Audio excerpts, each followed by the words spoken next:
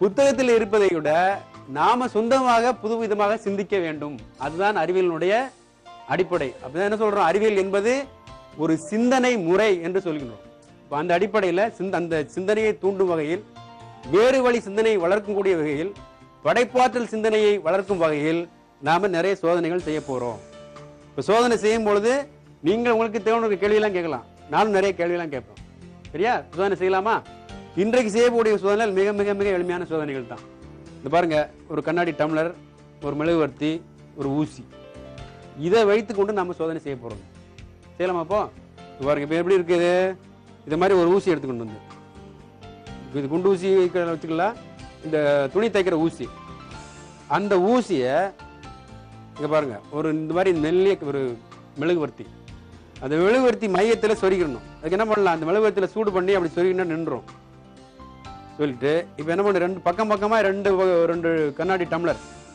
இந்த கண்ணாடி டம்ளர் மேலே இதை அப்படி நிற்க வைக்கணும். நிக்கவா?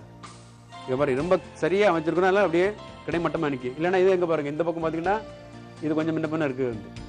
இப்படி வைக்கலாம். உங்களுக்கு எதுல அதில் வைக்கலாம். ஒன்று நிற்கணும் அவ்வளோதான் இப்போ என்ன பண்ண ரெண்டு மு- வரத்துக்கு ஒரு முனையில் தான் இந்த திரி இருக்கும். இப்போ என்ன பண்ணியிருக்கிறேன் ரெண்டு முனையிலே அந்த திரியை கொண்டு வந்திருக்கிறேன். ரெண்டு முனையில் திரியை கொண்டு வந்தாச்சு. இப்போ என்ன செய்யலாம்? ரெண்டு முனையிலையும் பத்த வச்சிடணும் என்ன ஆகுதுன்னு பாருங்க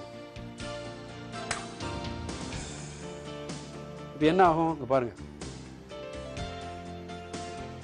என்ன ஆகுது பார்த்துட்டே இருங்க. இப்போ இந்த பக்கமே ஏற்றிடுவோம் இது கீழே வந்த உடனே இந்த பக்கமே ஏற்றுவோம் ஆ இப்போ பாருங்க. என்ன ஆகுது? மெழுகு உருகி கீழே விழுது. இங்க என்ன ஆகுது?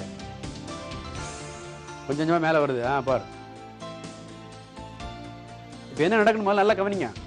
ஒரு மெழுகு உருகி கீழே விழுந்த உடனே இங்க கீழே போகுது.